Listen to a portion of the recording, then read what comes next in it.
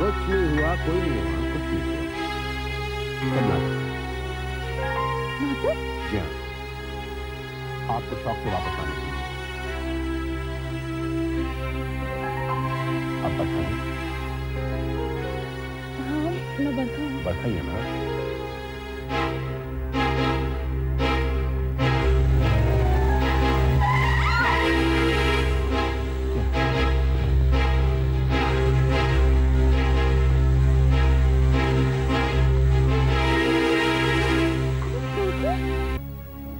चिंता की कोई बात नहीं है। सदमे से बेहोश हो गई है थोड़ी देर में होश आ जाएगा।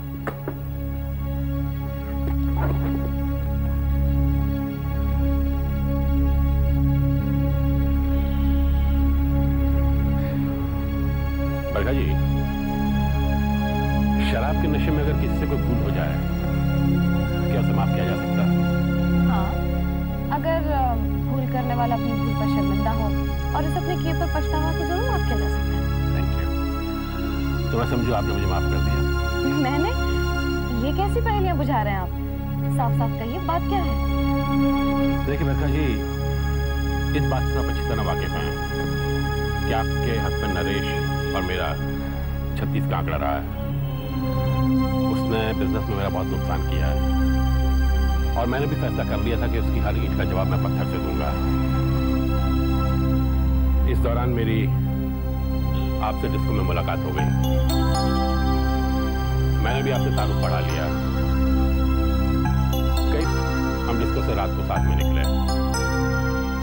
बदले की आग मेरे अंदर भड़क रही थी। लेकिन न जाने क्यों, जब भी आपका घर आता मैं आपको आपके घर छोड़ के चुपचाप निकल जाता है। और एक दिन शराब के नशे में मैं आपको अपने घर ले गया। और What?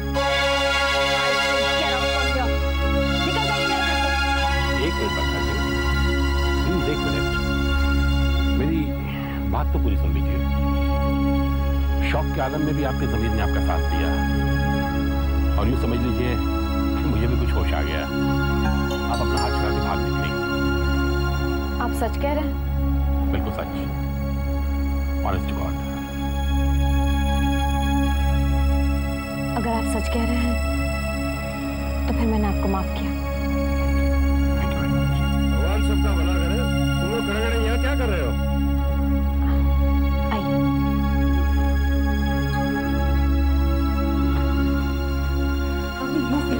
तुम ठीक हो। ना बिल्कुल ठीक थैंक गॉड तुम ठीक हो इसका सबूत हमें अदालत को देना पड़ेगा। धर्म इसका एक ही रास्ता है डॉक्टर का सर्टिफिकेट पाने के लिए। तुम्हें एक दो दिन किसी हॉस्पिटल में गुजारना पड़ेगा।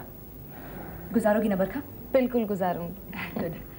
बाय द वे बरखा तुम्हारी नीस पिंकी इतने रात के ऐसे सड़कों पर भाग क्यों रही थी कोई इसका पीछा करा था क्या? हाँ नाना। लेकिन कौन? वही जो हमारे पूरे खानदान के पीछे लगा हुआ है। अगर आपको एतराज़ ना हो तो क्या मैं जान सकता हूँ? कौन है? बददुआ श्राप। बदुआ श्राप? मैं कुछ समझी नहीं? नैना हमारे खानदान के किसी का श्राप लग गया है। शराब किसका शराब? बहुत लंबी कहानी है। फिर कभी सुनाऊँगी। सनी पिंकी। मैं कहूँ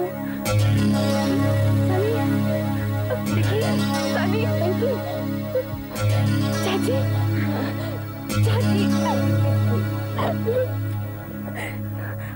कैसी है चाची? मेरे मेरे मम्मी पापा कैसे हैं? सब लोग बिल्कुल ठीक है बेटा। चाची मैं वो याद करके बहुत रोई हूँ। बहुत याद आती थी उनकी जब वो अपनी पिंकी को याद करते थे वो अपनी पिंकी से नाराज़ तो नहीं है ना? नहीं पिंकी पिंकी। बेटी माँ बाप की इकलौती औलाद उनसे बिछड़ जाए उन्हें दुख नहीं होगा। ये कैसे हो सकता है? आँख से आँसू सूख सकते हैं। ममता नहीं बेटे।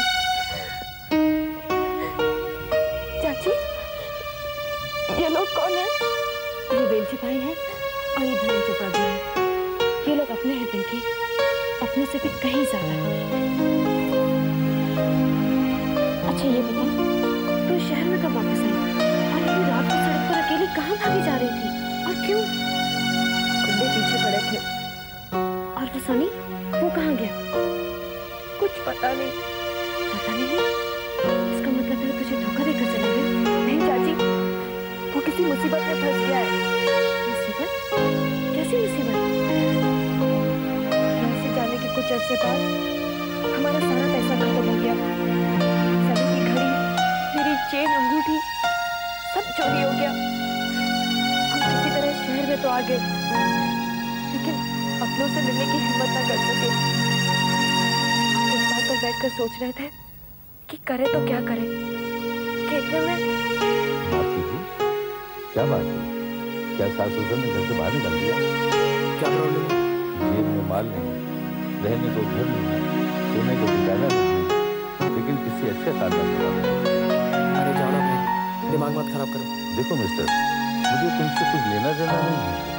तुम्हारी हालत है कि मुझे कुछ तुम तकलीफ़ में हो इसमें कोई राशि बात नहीं और इसमें भी कोई राशि बात नहीं कि मैं बेसहारों को सहारा देता हूँ। यही मेरी भूल है। है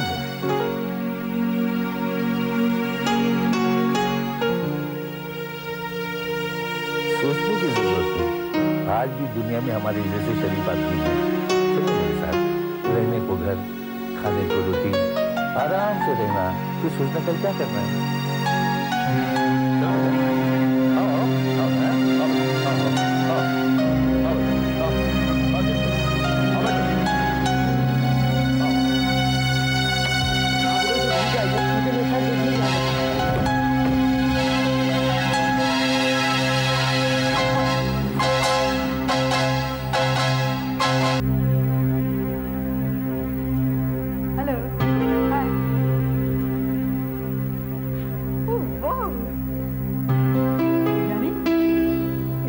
लाए हो? यहाँ गरीबी और मजबूरी के बावजूद है। वैसे किसी बाकी के लिए रोशनी जाने को पाँच दे दो। मैडम रोजी ठीक ठीक बोलो। बात बहुत कम है। ऐसे माल के खरीदार बहुत है। चलो। ठहरो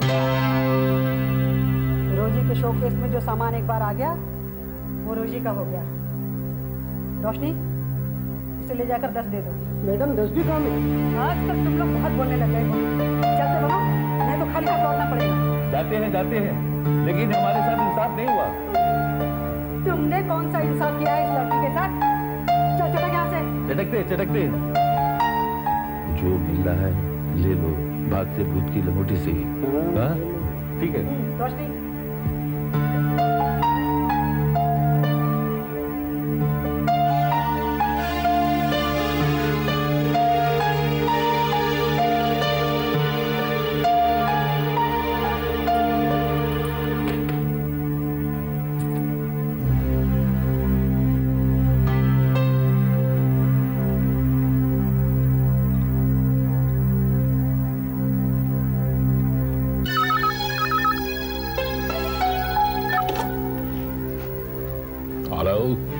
जानी अनार की कली पेश कर सकती हूँ। आ जाओ। सॉरी रोदे हमने उन रास्तों पे चलना छोड़ दिया है। दोबारा हमें फ़ोन मत करना। नो प्रॉब्लम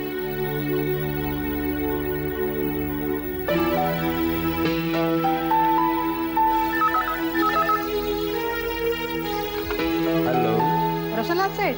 हाँ हाँ बोल रहा हूँ। कहो जानी क्या हाल चाल है? हाय जानी सर पर पाँव रखकर जल्दी आ जाओ। ऐसा माल आया है कि ज़िंदगी भर याद रखोगे हमें। हाँ हाँ मैं फ़ौरन आ रहा हूँ। जल्दी आओ। सलमा सलमा जाकर फ़ौरन उस छोकरी को तैयार करो।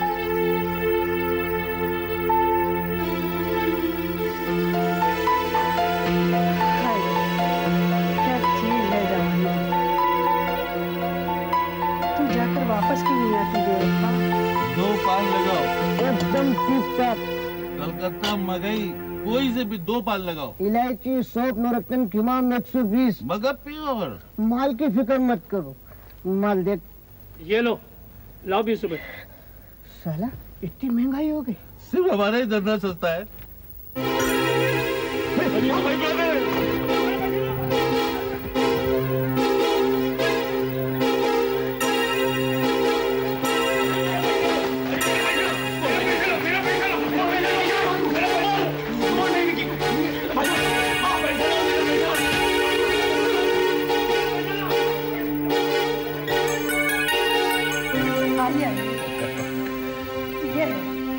वाह वाह।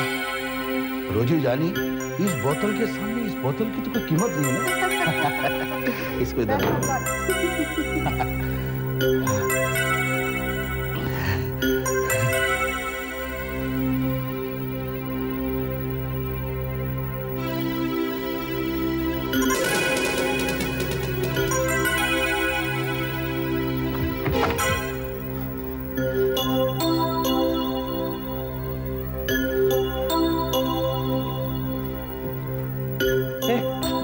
ये गाड़ी किसकी ये रोजी मैडम की है। वो सारी धंधा करती है।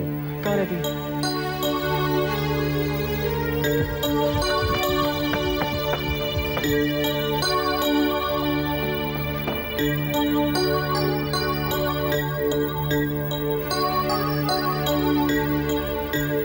हेलो कटपीस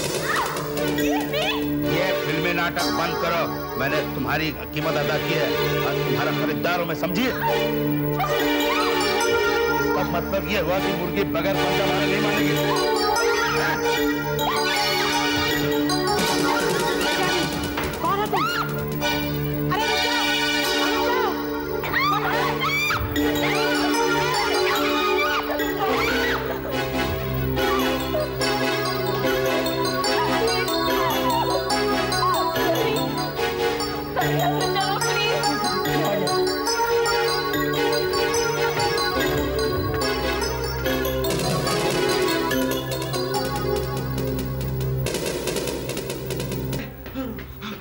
जानी?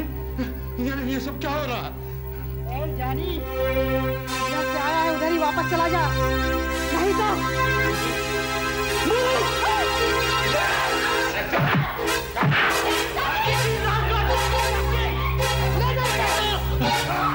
और पुलिस के हवाले कर दो। कहना रोजी के घर चोरी करते पकड़ लिया अरे जा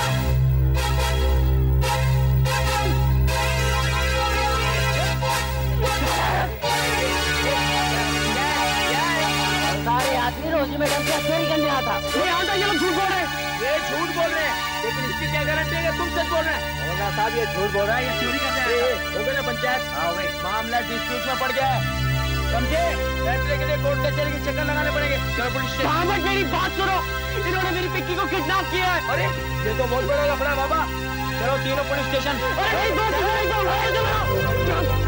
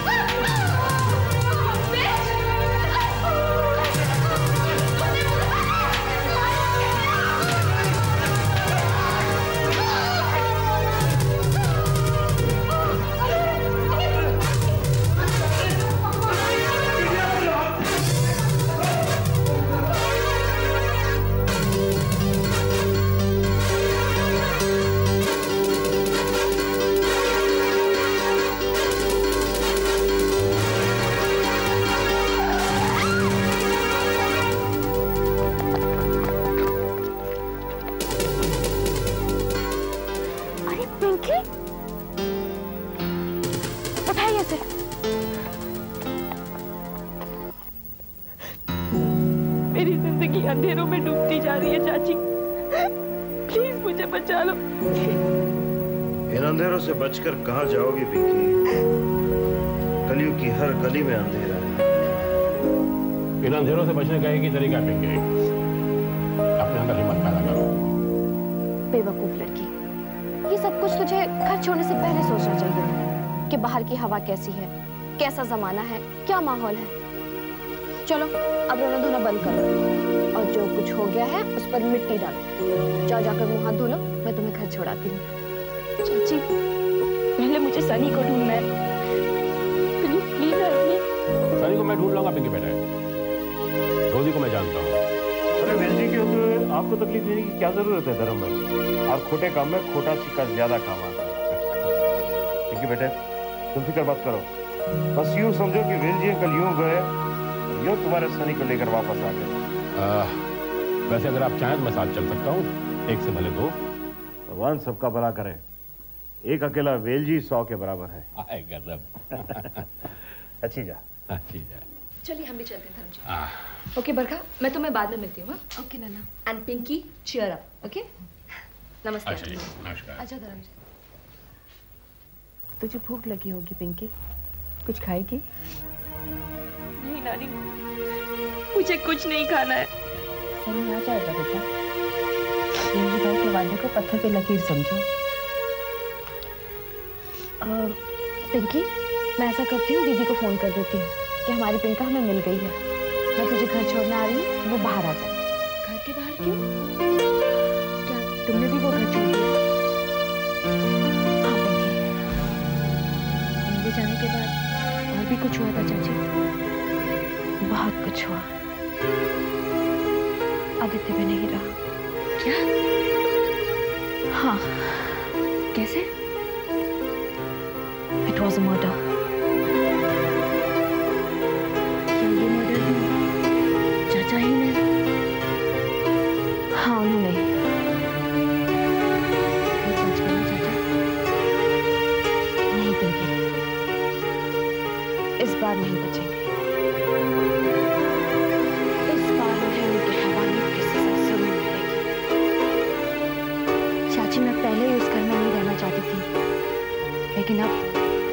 जाऊँगी।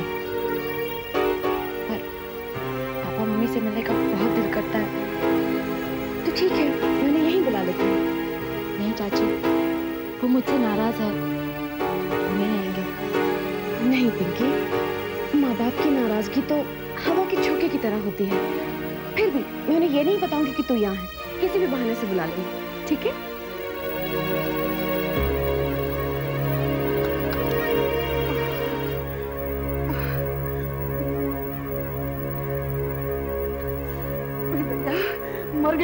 चल हट। ये सब तुम लोगों का कसूर है। दस हज़ार रुपए भी गए हाथ से और लड़की भी हाथ से निकल गई। अरे अब खाली खड़ी मुँह क्या देख रहे दबाना मैडम कोई नया सेट आ रहा है। नया सेट कोई सीआईडी का आदमी तो नहीं? सीआईडी?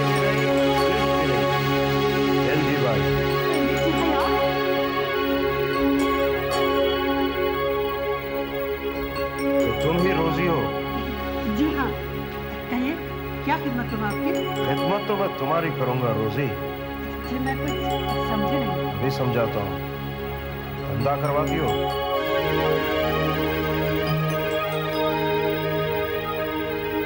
देखो रोजी धंधा कोई भी बुरा नहीं होता। समाज की ये ठेकेदार दिन में जिसको बुरा कहते हैं रात को वही करते हैं। भगवान सबका भला करे। शराब को बुरा कहते हैं लेकिन सब पीते हैं। जुए को बुरा कहते हैं लेकिन सूट बूट पहनकर रेस कोर्स में जाते हैं खेलने के लिए। तुम्हारे धंधे को बुरा कहने वाले लोग रात को छुप कर तुम्हारे पास ही आते हैं। जी आप कहना क्या चाह रहे हैं? मैं तो समझे नहीं। मैं समझाता हूँ। रोजी आज के बाद कभी भी और किसी भी गरीब और मजबूर लड़की का फ़ायदा उठाने की कोशिश भी की। तो तुम्हारे धंधे के साथ तुम्हारी ज़िंदगी की दुकान भी हमेशा के लिए बंद कर दूँगा